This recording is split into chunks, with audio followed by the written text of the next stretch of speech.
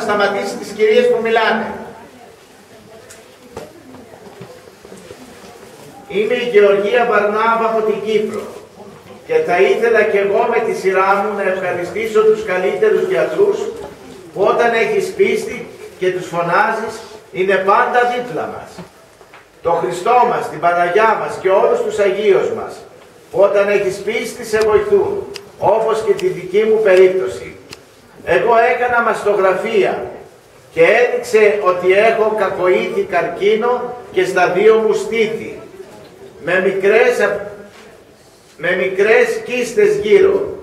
Έκανα όλες τις απαιτούμενες εξετάσεις στο νοσοκομείο Αρετέιων που είναι για τις καρκινοπαθείς. Και αφού όλοι οι γιατροί συνεδρίασαν, αποφάσισαν ότι πρέπει να κάνω μαστεκτομή και στα δύο μου στήθη.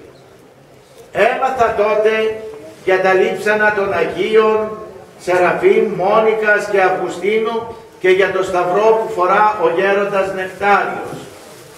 Και πήγα και τα προσκύνησα. Την πρώτη φορά ο γέροντας έλειπε με το σταυρό του και ξαναπήγα δεύτερη φορά για να τον βρω.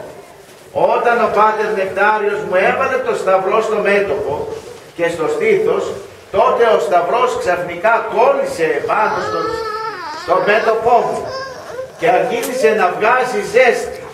Την επόμενη ημέρα πήγα στον γιατρό για εξετάσεις διότι έπρεπε να κάνω τη μαστεκτομή.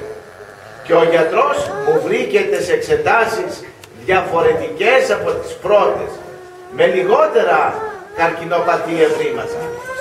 Τότε μου είπε ότι τα νέα είναι πολύ ενθαρρυντικά και ενώ ήμασταν έτοιμοι για μαστεκτομή, είμαστε αισιόδοξοι. Πιστεύω ότι με τα σημερινά ευρήματα δεν θα σου κάνουμε τώρα μαστεκτομή.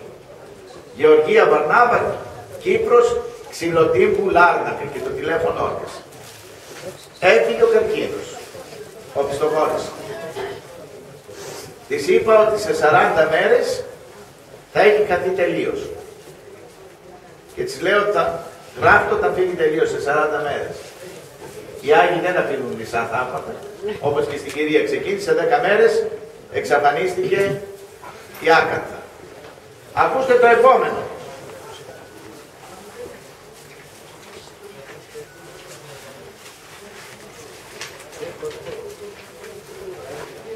Ονομάζομαι Γιάννος Κερμανού και μένω στο λιοπέτρι της Κύπρου. Τον τελευταίο καιρό ήμουν στο κρεβάτι, διότι με είχε πιάσει για τα καλά ένας αφόρητος πόνος στη μέση και έτσι πήγα στον γιατρό να με δει. Ο γιατρός μου είπε ότι έχω πρόβλημα στη σπονδυλική μου στήλη και μου έδωσε ορισμένα φάρμακα να πάρω. Μετά από τρεις μέρες δεν μπορούσα να ανέβω ούτε τα σκαλοπάτια του σπιτιού μου για να πάω για ύπνο και έτσι έκανα πρόχειρο δωμάτιο στο κρεβάτι του σαλονιού. Οι μέρες περνούσαν, ο πόνος ήταν απόλυτος. Πήγα ξανά στον γιατρό και τελικά μου έδωσε να πίνω κορτιζόνες και με έστειλε να κάνω αξονική τομογραφία γιατί μάλλον ίσως θα χρειαζόμουν χειρουργική επέμβαση. Η αξονική έδειξε ότι μετακινήθηκαν δύο δίσκοι της σπονδυλικής μου στήλης και είχαν πατήσει τα νεύρα. Τις ημέρες αυτές ήρθε ο ηγούμενος Νεκτάριος με μοναχούς από την Ελλάδα και έφερα στο ναό του χωριού μου τα Αγία Λείψανα του Αγίου Σεραφείμ του Σάροφ και του Αγίου Αυγουστίνου και της Αγίας Μόνικας για να τα προσκυνήσει ο κόσμος. Την επόμενη ημέρα ήρθε η μητέρα μου να πάμε στην εκκλησία να προσκυνήσουμε τα λείψανα των Αγίων. Πήγα και εγώ σιγά σιγά σέρνοντας όμως το πόδι μου διότι δεν περπατούσα και προσκύνησα και εγώ τα λείψανα. Όταν τα προσκυνούσα τα λείψανα, με είδε ο ηγούμενος και με ρωτά γιατί περπατώ σέρνοντας το πόδι μου; Και εγώ του είπα το τι πρόβλημα έχω. Τότε ο γέροντας μου λέει έλα εδώ. Παρακαλώ μπορείτε να μην μιλάτε λιγάκι. Και τότε ο γέροντας με σταύρωσε στη μέση και μου λέει σήκω τώρα και περπάτησε είσαι καλά. Έτσι και έγινε. Περπάτησα αμέσως. Ο ιερέας του χωριού που ήταν δίπλα μου, ο πατήρ Ανδρέας ξαφνιάστηκε όταν με έβλεπε να σηκώνομαι και να περπατώ ξαφνικά και να φεύγω από τον ναό.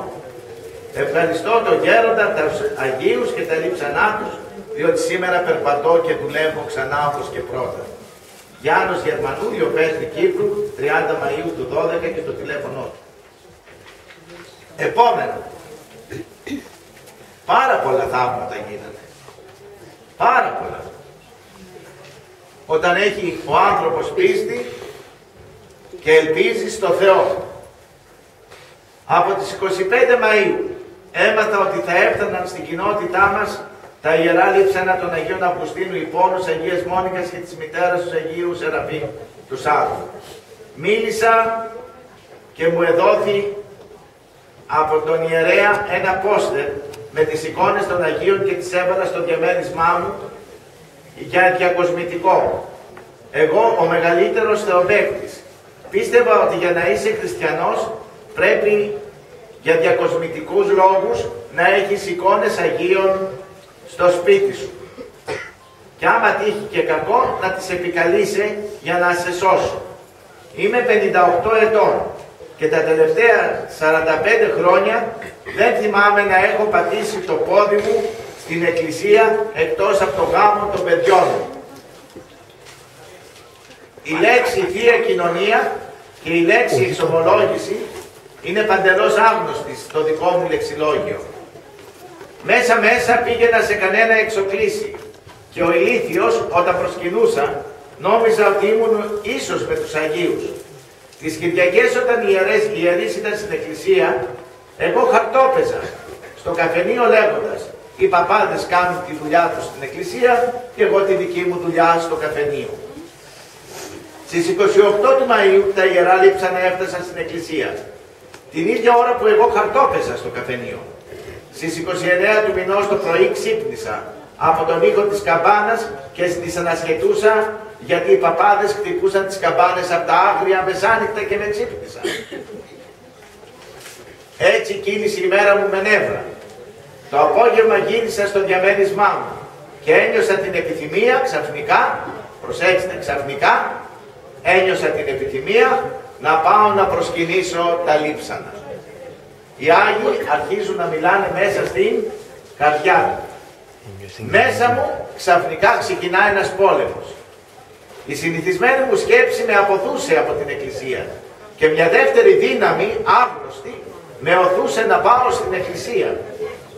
Τόσο μεγάλη ήταν η διαμάχη του μυαλού μου που το βράδυ σχεδόν δεν κοιμήθηκα.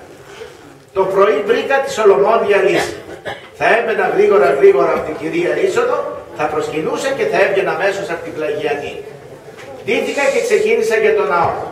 Φτάνοντας άκουσα τη λειτουργία. Τα πόδια μου ξαφνικά λύγησαν.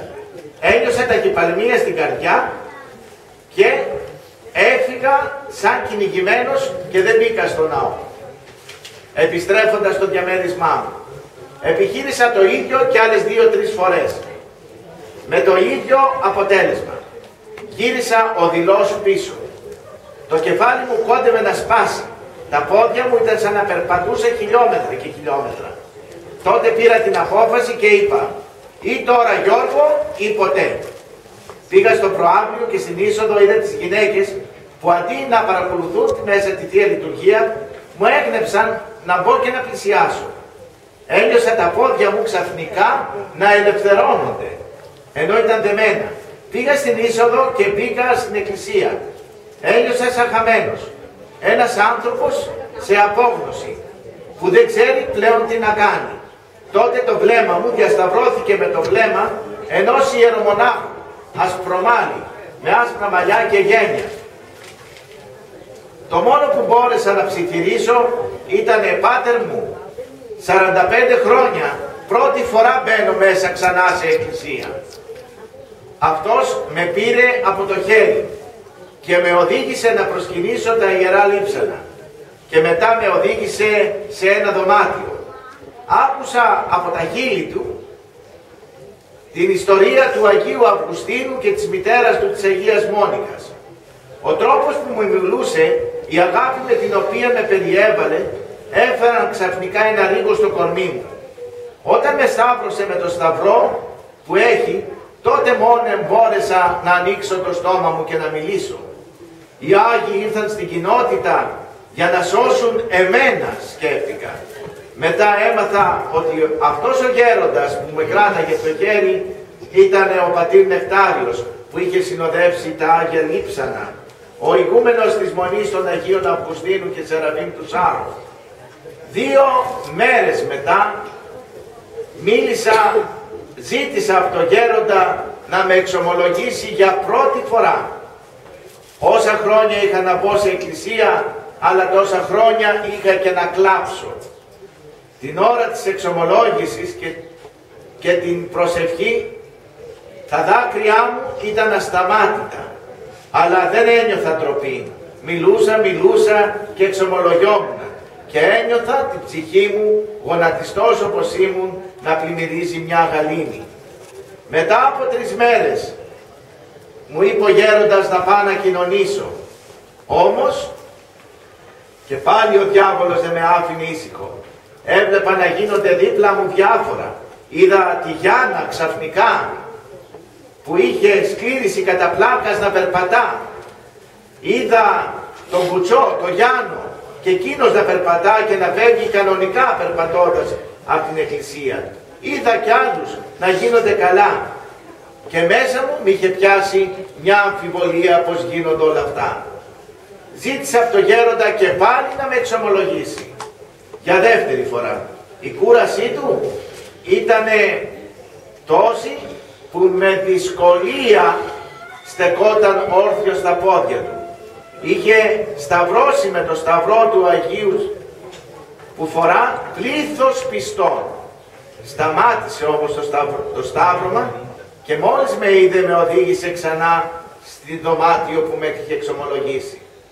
Με μεγάλη μου έκπληξη διαπίστωσα ότι γνώριζε από πριν το τι ήθελα να του πω και μου είπε Γιώργο, Γεώργιε, ο σατανάς σε είχε δικό του. Γι' αυτό τώρα σε παιδεύει και θέλει να σε πάρει πίσω για να χαθείς. Σήμερα που γράφω αυτό το σημείωμα είναι Δευτέρα προς Τρίτη, 11 του 2012 και η ώρα είναι δύο περασμένα τα μεσάνυχτα. Από τη μέρα που πήγα για πρώτη φορά στην εκκλησία μέχρι και σήμερα, μένω δίπλα από τα Ιερά Λείψανα και δεν φεύγω. 12 με 14 ώρες κάθομαι δίπλα στο γέροντα. Γνώρισα ένα κόσμο διαφορετικό από δικό μου, με προβλήματα που τα δικά μου και είναι πάρα πολλά, αλλά μοιάζουν μάλλον με παιδικό παιχνίδι. Έχουν προβλήματα ο κόσμος που έρχεται υγείας, με άρρωστα παιδιά, με εγγόνια, έχουν οικονομικά προβλήματα. Είναι όμως ένας κόσμος χαμογελαστός, πρόσχαρος, γεμάτος αγάπη. Προσφέρει κάτι που εγώ προηγουμένως δεν μπορούσα. Προσφέρει τη συγχώρεση. Προηγουμένως ήμουν ο δαχτυλοδεικτούμενος Γιώργος της κοινότητας, ο χαρτοπαίκτης Γιώργος, ο άχρηστος, ο θεοπαίκτης, με την ευλογία των Αγίων Αυγουστίνου, της Αγίας Μόνικας του Αγίου Σεραφίνη και την καθοδήγηση του Γέροντα και των πατέρων Σήμερα περπατώ στο δρόμο δέκα μέρες του χωριού μου μετά και ακούω τον κόσμο να με χαιρετά και να μου λέει «Καλημέρα Γεώργιε». «Γεια σου Γεώργιε», όπως χαρακτηριστικά με αποκαλεί και ο Γέροντας. Εύχομαι η Παναγία η Ελεούσα του Λιοπετρίου και η Παναγία η Τρικορφιώτισσα να συνεχίσουν το έργο τους, των τριών Αγίων και παρακαλέστε το Θεό να μην ξανακατρακυλήσω στον βούρκο που ήμουν πριν. Ζητώ τη συγχώρηση του Θεού και να με συγχωρέσει και όλος ο κόσμος για όλα όσα είχα κάνει. Γεώργιος Γαριβαλδινός Λιοπέτρη Κύπρου 12 έκτου του 12 Ένα θαύμα μεταστροφής ανθρώπου που όταν πήγαν τα γελίψανα μια δύναμη τον έσπρωξε και τον έφερε στο ναό, προσκύνησε και άλεξε όλη τη ζωή.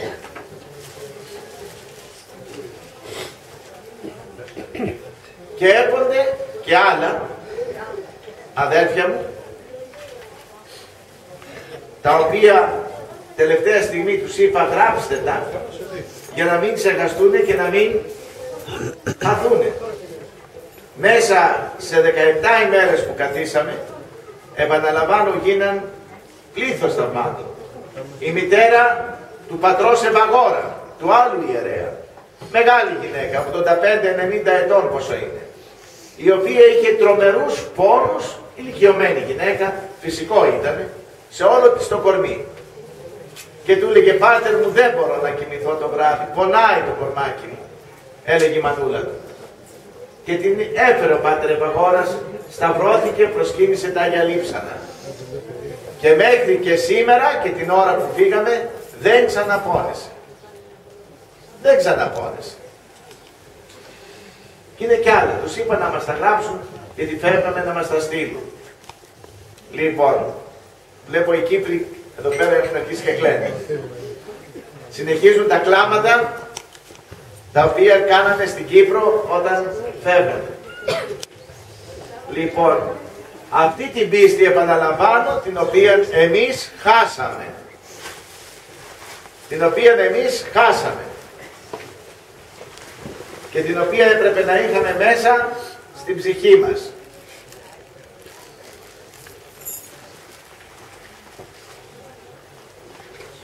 Μόλις με ενημερώσανε ότι τώρα γεννήθηκε ένα παιδάκι στην Κύπρο και η μητέρα του δίνει το όνομα της Αγίας Μόνικας. Σκεύη. Μόλις τώρα με ενημερώσανε. Λοιπόν, τώρα συνεχίστε να πάρετε τα βιβλία που σας είπα και τις ομιλίες. Να πάρετε. Είτε το καφέ σας, ήπιατε και κρασάκι. Έχει απ' έξω κρασάκι με τον άνθρωπο.